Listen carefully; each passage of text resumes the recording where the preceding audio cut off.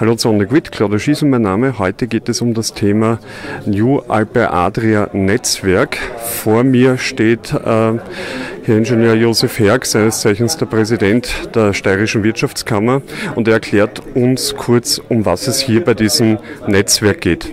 Ja, das New Alpe AD Netzwerktreffen hat in Graz stattgefunden mit der Zielsetzung für die Zukunft inhaltliche Schwerpunkte festzulegen. Es waren heute äh, neun Spitzenrepräsentanten, Präsidentinnen, Präsidenten aus äh, neun unterschiedlichen äh, Nachbarländern bei uns anwesend und wir haben hier auch die Schwerpunkte definiert.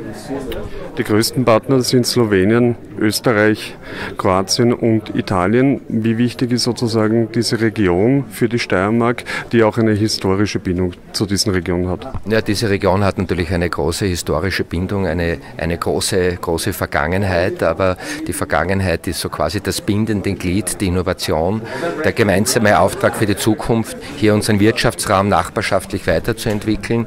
Äh, wir haben im Inhaltlichen festgelegt, dass die besonderen Schwerpunkte natürlich in Ausbildung, Qualifizierung liegen, auch die Weiterentwicklung der europäischen Netzwerke. Das heißt, wir brauchen natürlich diese Verkehrsinfrastrukturbereiche äh, Büren-Schober bzw. Büren-Dauernachse, baltisch-adriatischer Bereich. Wir sehen darin große Möglichkeiten, dass wir uns auch in Zukunft in diesem gemeinsamen Wirtschaftsraum gut weiterentwickeln können. Da gibt es ja auch dann in weiterer Folge, wenn Sie das Thema Verkehr ansprechen, vier Häfen, nämlich Triest, Rijeka, Pula und, äh, wenn ich mich, äh, Koper, genau, da wäre mir jetzt entfallen. Äh, wie wie wichtig sind diese Häfen für die Steiermark und was bringt es sozusagen auch für die sogenannte Hochseebilanz?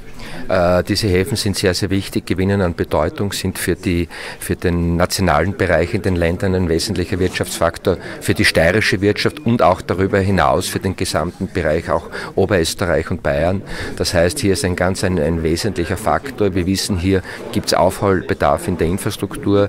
Die hm, Bahnanbindung entspricht nicht mehr äh, so quasi dem Stand der Technik. Äh, hier muss etwas investiert werden und das gemeinsame Ziel ist es auch, diesen Korridor in den transeuropäischen Netzwerkplan aufzunehmen, um in Zukunft hier auch eine starke Achse zu entwickeln.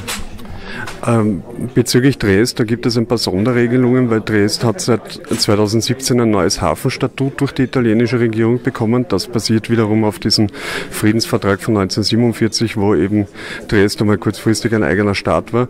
Äh, wie wichtig ist sozusagen auch hier die Einbindung der österreichischen Sonderrechte, die im ursprünglichen Hafendekret von 1947 deklariert sind? Naja, das gibt natürlich Möglichkeiten für den Hafen Dreist. Äh, man hat hier natürlich auch große Anstrengungen unternommen und unternimmt sie auch, äh, diesen Standort auch, auch weiterzuentwickeln und, und der Bedarf ist vorhanden.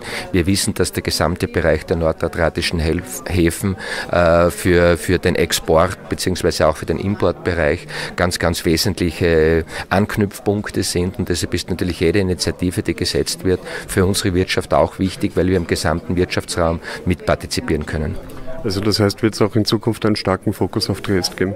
Natürlich äh, sämtliche. Es wird äh, Triest genauso wie Kopper, Rijeka und, und alle anderen Möglichkeiten äh, natürlich auch mit weiterentwickelt, weil wir brauchen im gesamten Netzwerk Alpe Adria äh, quasi jeden Anknüpfpunkt an den internationalen Export.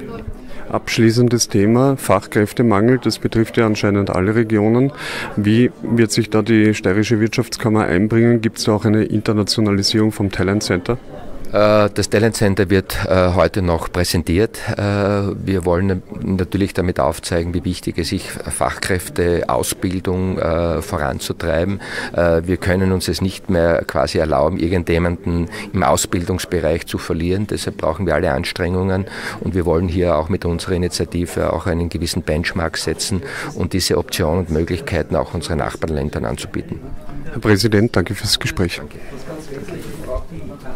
Das war es für heute. Herzlichen Dank fürs Zusehen und wenn euch das Video gefallen hat, bitte teilt es, hinterlasst einen Like oder abonniert unseren Kanal. Danke.